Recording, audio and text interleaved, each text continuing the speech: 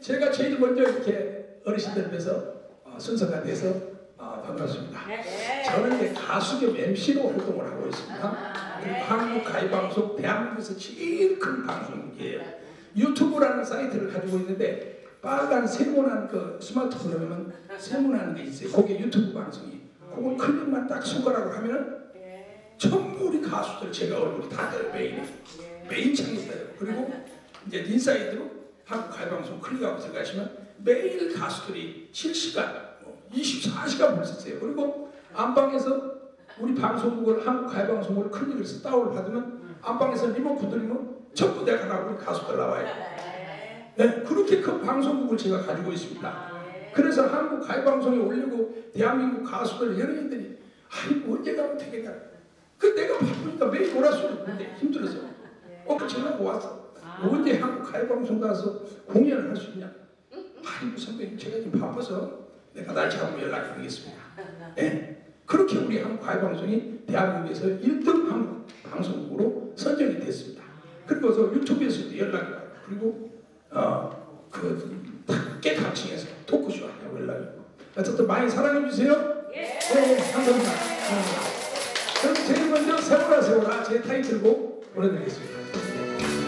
박수!